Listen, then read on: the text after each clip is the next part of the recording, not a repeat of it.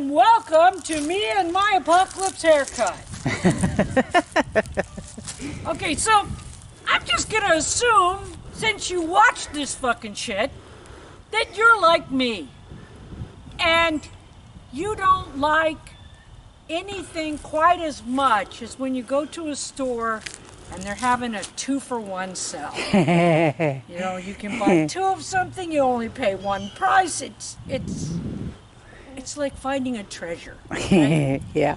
Well, on the farm and in my life, I like nothing better than being able to get two things done at one time. Yep.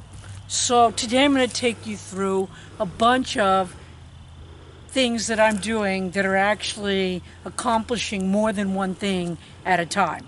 So the first thing I did this morning was I had to clean up dog shit, which we've talked about before. Fucking animals, assholes. Yes. Right? And and of course my dogs especially are especially fond of shitting right on the trails I walk on so that I, you know, constantly. Okay. So the first thing I did was pick up dog shit. Then I came over here with a bucket full of dog shit. I stuck it in the corner over there in the go between to stop coyotes, other dogs, cats, raccoons, shit like that from coming into the property. Right. Kind of a neat thing that you can do with your dog shit. You got to clean it up anyway, It's like right? marking the territory, You're right? marking your territory because, you know, your dogs, they smell like their dung smells like predatory animal Right. to any kind of wildlife and sometimes to other dogs, depends on the other dog. Okay, so now though that I've got my bucket over here mm-hmm. and I've got my manure fork, what I'm doing is see all this horrible algae on top of my freaking pond mm-hmm. that you're like, why didn't that die when it was sub zero temperatures?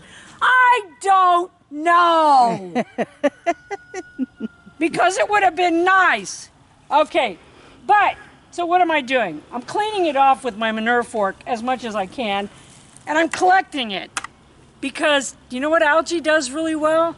It breaks down really well and makes excellent compost for your garden. Oh, So I'm gonna just skim it right off the top there, put it in the bucket, and see, twofer. I get the stuff off my pond, I get buckets full of compost at the same time. There's nutrients in algae that aren't in land plants. It's not this kind of algae, especially detrimental to your fish. You can see that it wants to build a film that kind of suffocates everything underneath it. My son has this growing in his pond. He often um, puts bales of straw in there, and the straw, you know, my son's a genius, and it uh, it goes around and it picks it all up. And then, of course, that could be a two for two because then you could pick up that bale that's been soaking in there and has soaked up all this algae, and you could compost that. Talk about some really good compost. So yeah.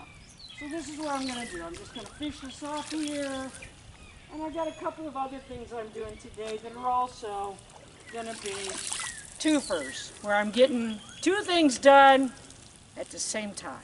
I don't know if I told you or not, but this entire area was stacked full of trash.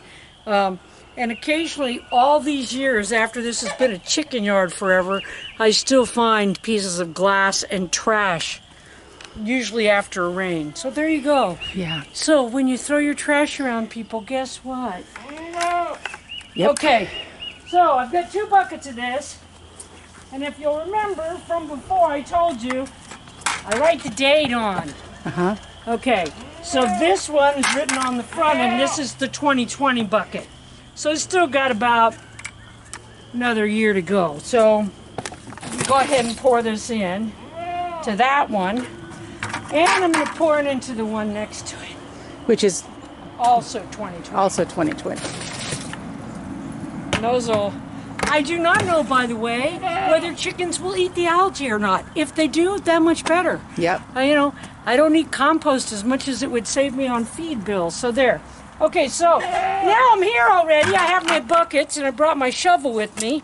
And I have the wheelbarrow already in the shop, which I use to cart these heavy bastards over here. You can see this is a 2019 barrel. So the 2019, oh, this is a 2017 barrel, so maybe that one would be better dirt. Okay, so I've got to do some planting today, and I need some dirt. So while I'm here, already, I'm just going to get some dirt. See that beautiful dirt? That was all Garbage. garbage and shit and food and maggots and whatever And dead carcasses there, dead and- animals, uh, pieces of dead animals, you know.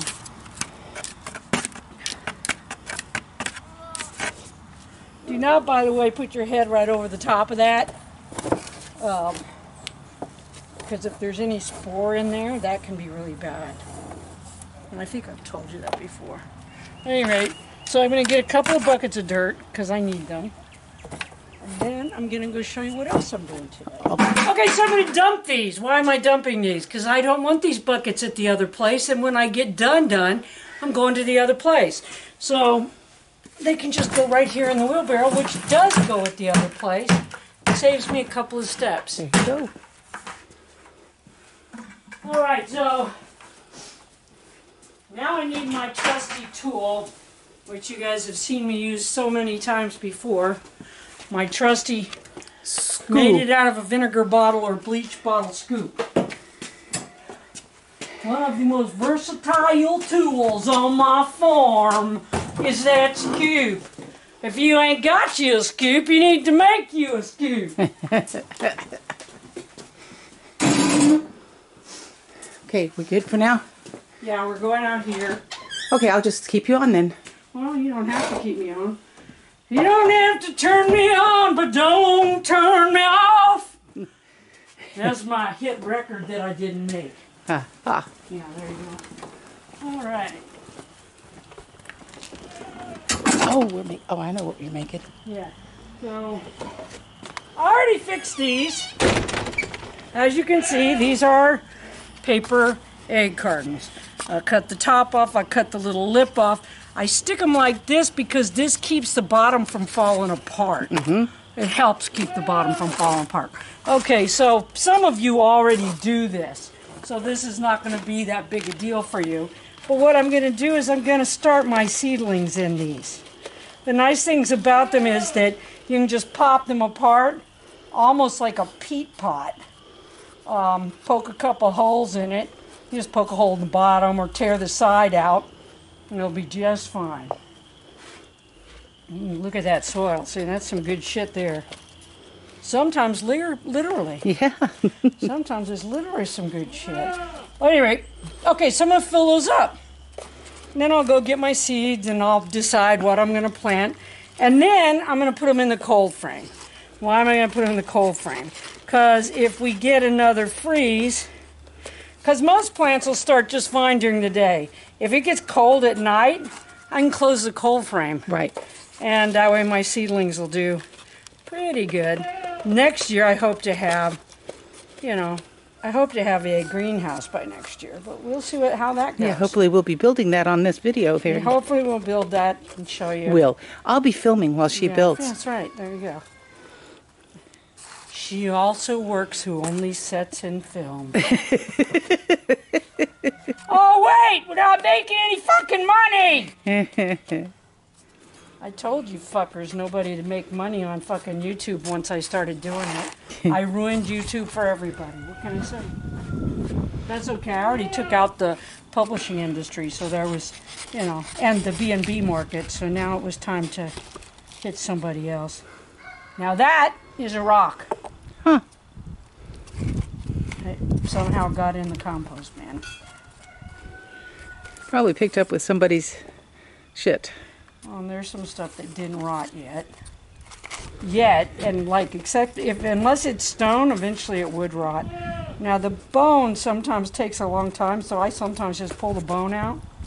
And put it I'll back put in. in the, I'll put them, either put them back in the compost bin in one of the other ones, Mm-hmm. or I'll take them to the, fi- the fireplace and burn them up. Mm-hmm. And then use the ash in the garden, it, it breaks it down quick that way.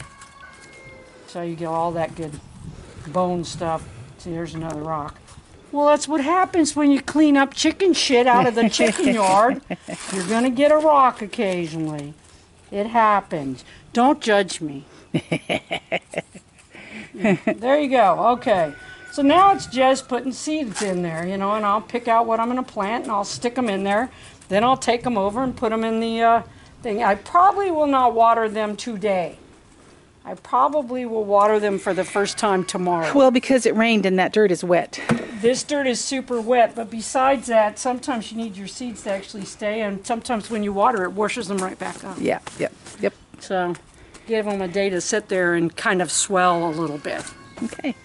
Okay,